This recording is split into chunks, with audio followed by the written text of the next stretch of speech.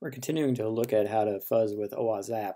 We're just going to do a little bit more complicated of an example. So in this case, I already have Firefox browsing through Zap. I've used Foxy Proxy to make sure that all the traffic is going through Zap. Zap is the proxy. You could also set this up just in the normal settings inside of Firefox.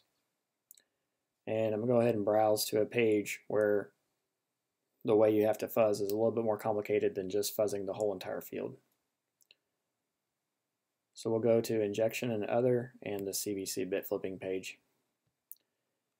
In this page, we want to fuzz the bytes inside of this initialization vector to cause the user ID and the group ID to change to zero. So one of the things you can do is you can fuzz the different characters that are inside the initialization vector.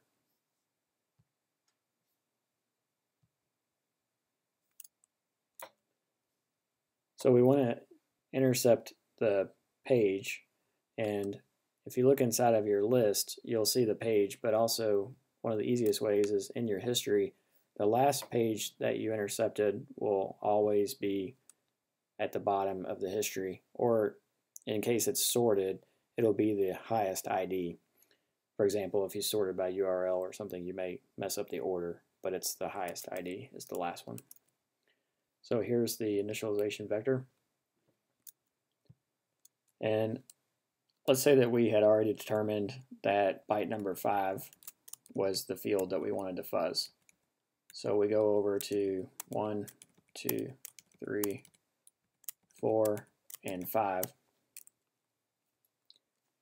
The way you would have determined byte number five was the one was is by fuzzing each byte in turn and watching how the user ID and the group ID values change.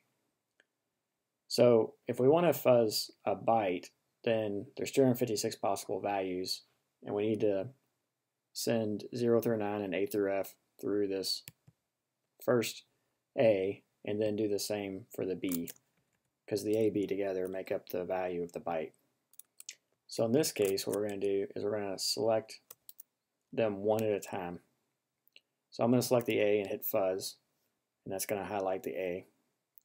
And then we'll send in the payload.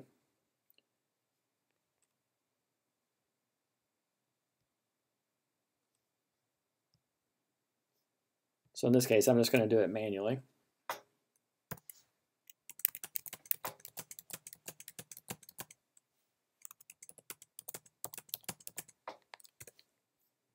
Notice I was careful not to leave a carriage return line feed at the end because it'll actually try to fuzz with a blank value.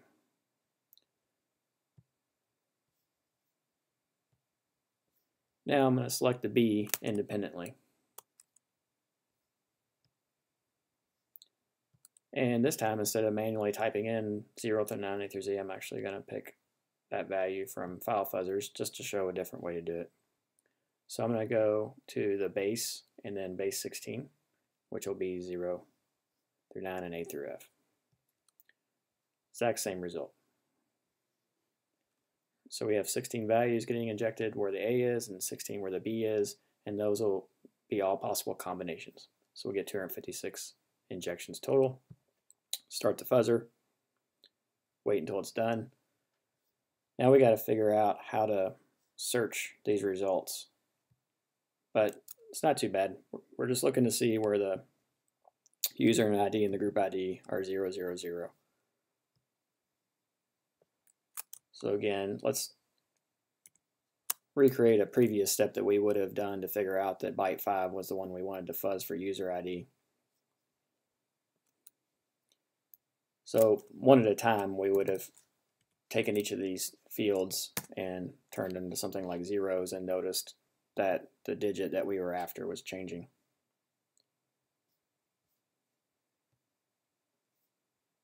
So by default it's 100, but of course we want to look for 000, but there could be 000s all over this page, just by coincidence.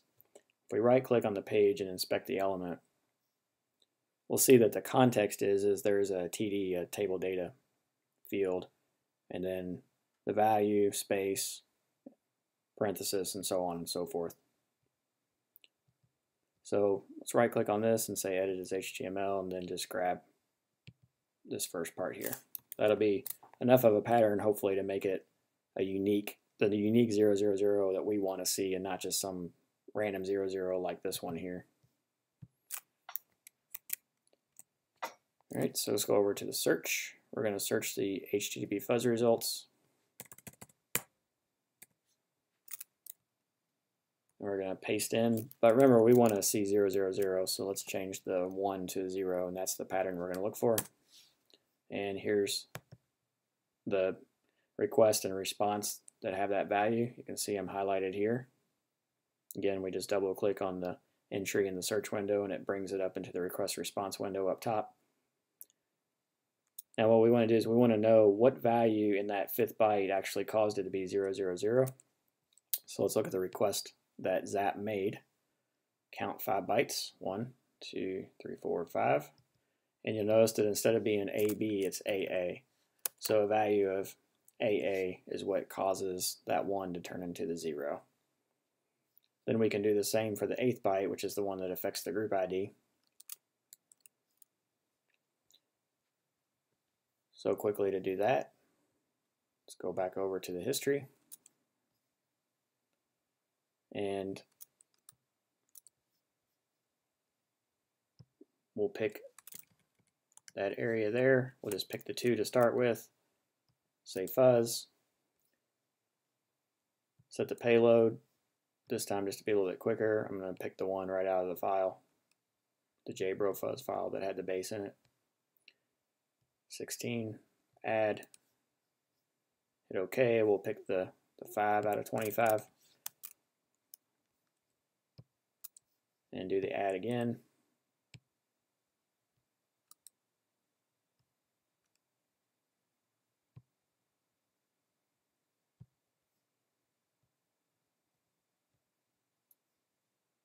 We'll start the fuzzer.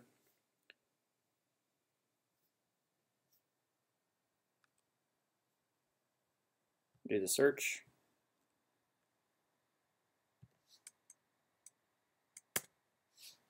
This time we get two. Remember there's the original one where the user ID turned to 000, and then there's the second one where the group ID turned to 000. So we click on the second one, the group ID is 000 go to the request to see what the value is. It's 24 right here.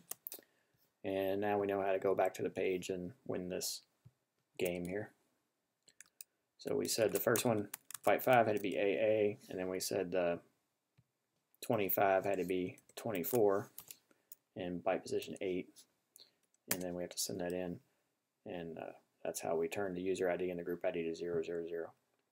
So in this example, we actually saw where instead of injecting a, an entire field with a bunch of values, we actually kind of picked the field apart just a little bit and we injected two different places inside of the field independently uh, to form combinations of injections. And hopefully this video will help you in testing your applications.